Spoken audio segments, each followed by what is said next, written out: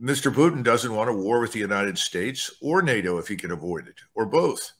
And so he's moving very carefully and deliberately. He's now in the position to say, look, the Ukrainian army is melting away. It's falling apart. For the first time, large numbers of Ukrainian troops and units are actually coming over to the Russians saying, we've had it. We can't do it anymore. What the Russians are trying to do now is goad the Ukrainians into committing their last reserves. That's about 10 brigades, maybe 30, 35,000 troops.